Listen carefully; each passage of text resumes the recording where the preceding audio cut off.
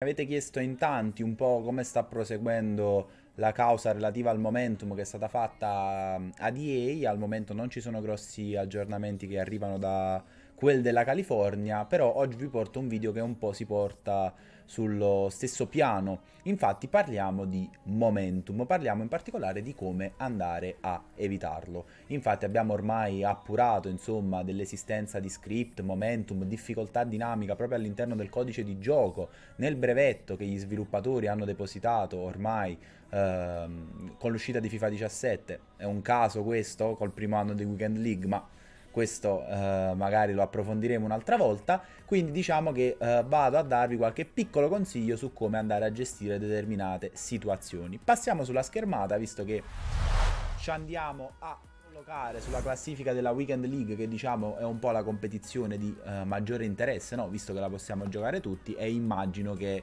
eh, è quella dove si cerca di fare sempre il miglior risultato, non solo da parte mia, ma ovviamente anche da, da parte vostra. Diciamo che per quanto riguarda la Weekend League, la nostra attenzione deve andarsi a focalizzare in maniera molto molto molto molto dettagliata su quelle che sono le cosiddette partite scalino, perché per esperienza personale e non solo personale sono le partite che sono più soggette a quelle situazioni strane, scriptate, come ci piace definirle. Quindi che so, il tiro che fate con Cristiano Ronaldo, con Mbappé, con Beyeder che vi è entrato nelle altre 100 partite che avete giocato prima, vi entra, non vi entrava sul palo. Il passaggio che avete sempre fatto per smarcare la vostra punta viene intercettato da Varan che si allunga come Carolina Costner sul ghiaccio. Quindi quando succedono le cose strane solitamente è in, uh, in quei casi lì. E sappiamo inoltre che quelle che sono le situazioni diciamo più soggette a ricevere script e bla bla bla ce ne sono in game e sono in particolare diciamo uh, tre mi viene da dire tre grosse categorie. La prima categoria, una delle più importanti, è quella relativa ai minuti di uh, recupero o comunque 45esimo, 90esimo, 105esimo, 120esimo. Quante volte vi è capitato di prendere gol in questo frangente? Quante volte vi è capitato di prendere gol con l'arbitro che non decretava mai la fine anche se aveva dato un minuto di recupero in realtà eravate al 48, 92, 110 e 167? Quindi quelli lì sono dei momenti notoriamente magici. Come fare per evitare di dire eh, ho preso gol al novantesimo, eh, il gioco mi ha fatto prendere gol. Come fare ad evitare ciò? Sappiamo, come detto, che sono dei momenti in cui eh, forze oscure cercano di agire contro di noi il consiglio che vi devo dare e che è anche quello che mettiamo noi in atto, soprattutto a livello competitivo, è quello di avere noi il pallone in quel frangente, perché se ovviamente il pallone ce l'ho io, l'avversario non può mettermi in difficoltà, ok? Alle volte capita di vedere partite in cui, ad esempio, dall'ottantesimo in poi si cerca di tenere palla per arrivare al novantesimo e cercare di andare a sfruttare proprio quell'ultima azione. Allora siamo tutti pazzi che facciamo così? No, lo sappiamo che in quei frangenti lì è più facile magari trovare la via, la via della rete, quindi cercare di tenere noi il pallone, sebbene magari significhi fare melina dal 40 al 45 dall'85 al 90 e poi partire più o meno quando manca un minutino prima che venga decretato il recupero per cercare di sfruttare noi quell'azione, quell'azione lì. Un'altra un altro piccolo consiglio che posso darvi è quello di ehm, non tornare mai troppo indietro quando vi trovate eh, nei minuti di recupero, perché avrete sicuramente notato che se superate quella che è la seconda linea a partire dalla porta del vostro avversario, avvicinandovi al centrocampo, l'arbitro andrà a fischiare la fine. Di conseguenza non andate mai troppo all'indietro, anzi se vi ritrovate in zona offensiva e state cercando di uh, bucare la difesa avversaria e vedete che non ci sono spazi, piuttosto fidatevi di me, cercate di fare un passaggio nel centro verso il vostro giocatore perché un sacco di volte la palla passerà uguale, sotto le gambe, animazioni strane dei vostri, uh, dei vostri avversari, la palla spesso e volentieri arriva. In particolar modo questa è una situazione che potete sfruttare tanto da calcio d'angolo. Da calcio d'angolo in queste situazioni di mh, tempi morti, spesso e volentieri buttando la palla dentro si riescono a fare delle cose abbastanza epiche, pure se uh, normalmente non sarebbero mai, non sarebbero mai riuscite. Un altro piccolo consiglio che uh, mi sento di darvi per evitare insomma che uh, succedano cose strane nei minuti finali è quello di buttare la palla fuori. ovvero quando vedete che il tempo è scaduto e siete voi in controllo di palla, vi girate verso la linea laterale, tirate una cannonata, spaccate la finestra della vicina che abita di fronte allo stadio e l'arbitro fischia sempre la fine.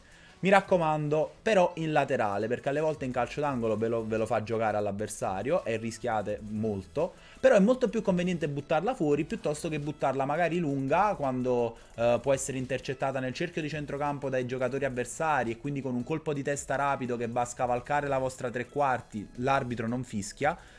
Stessa cosa perché può capitare dall'altro lato del portiere, il portiere con un rilancio lungo va a scavalcare la linea di fine partita e l'arbitro non fischia, quindi prendete palla e piuttosto sparacchiatela fuori in laterale. È una cosa che fanno più o meno tutti anche a livello competitivo e vi assicuro che vi togliete così da ogni imbarazzo.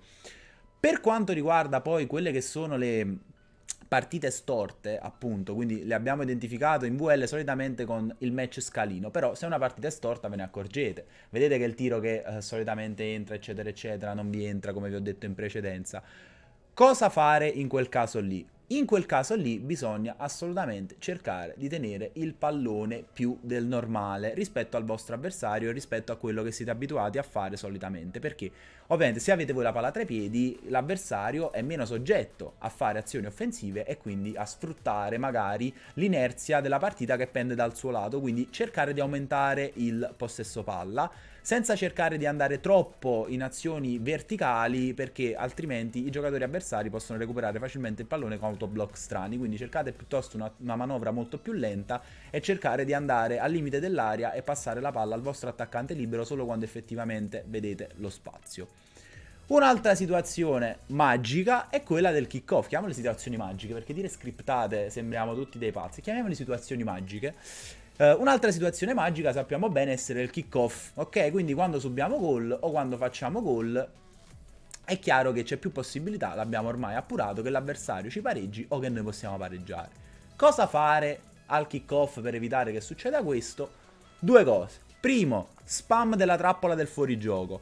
Perché nel momento in cui, quindi freccetta giù, freggetta giù, nel momento in cui andate a spammare la trappola del fuorigioco, la vostra squadra si alza, si va a ridurre quella distanza tra reparti tipica di quando diciamo eh, mi si è aperta la squadra. Eh, mi si è aperta la squadra sul kickoff. No, voi spammate la trappola del fuorigioco, si vanno a ridurre le distanze tra reparti e la squadra non vi si apre.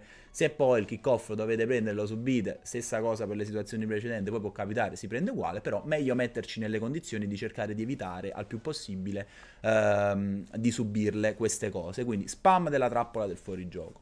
Un'altra cosa che uh, dovete fare e che potete fare sul kickoff per evitarlo, fallo, faccio per terra, scivolata a cannone, contrasto a cannone, perché nel momento in cui il kickoff viene stoppato da un fallo, è finito, non c'è più, quell'effetto lì si perde. Altra azione, non è più kickoff, quindi è come se il gioco si resettasse, perdesse quella, quella cosa di dire ok, però era l'azione del calcio d'inizio. Quindi un'altra scelta che potete andare ad applicare è questa qui del, del fallo vedete che ne subirete molti molto meno, sia con il fuorigioco che con la tecnica del fallo. E niente, per quanto riguarda questo video, raga, fondamentalmente era questo, sono diciamo tre uh, categorie di situazioni particolari magiche nelle quali uh, ci si può però andare a, insomma, a comportare eh, in questo modo per evitare che si verificano. Quindi questi erano dei piccoli consigli che mi sentivo di darti. Spero che questo video vi sia piaciuto ragazzi. Vi esorto come al solito a lasciare un like e un commento. Per tutte le eh, live giornaliere sulla piattaforma Viola trovate le info in descrizione. E nulla ragazzi, a me non resta altro che salutarvi. Ciao!